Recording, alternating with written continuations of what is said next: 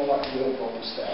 With this, it's really easy, so you can almost just like leave feet where they are and, and do a sort of minor uh, cook-up.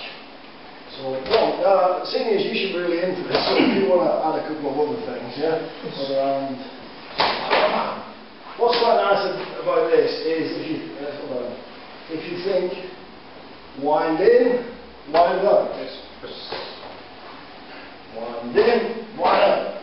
Yeah? But if just. One, two. Just. Well, look, if his thumb's pointing that way, well that, when you grabbed him, that's the direction of the strike. Yes? So, that. Can you see? If his thumb's a slightly different way, pointing slightly down, bring it more down. Because see where his elbow is, when his thumb's there, his elbow's there. Yeah? So now ah, the strike would need to go that way.